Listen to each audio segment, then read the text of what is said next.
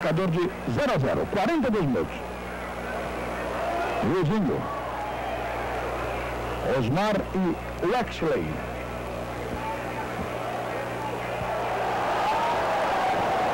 É, Você falou uma coisa e parece que o Leão lhe ouviu. Que ninguém sabe, ninguém sabe quem foi o campeão de 78. Se foi o Flamengo, se foi o Goitacás. É. Giro. Bola erguida. Tocada a bola na trave. Vem Luizinho.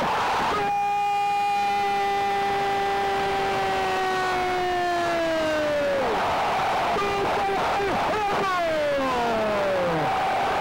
Luizinho Fera! O toque de cabeça de Chiquinho. A volta, o estoicismo. A palavra é essa. Desse garoto meter a cara, sabendo que está Abel, que está Geraldo ali, e fazer um gol de cabeça é muita coragem.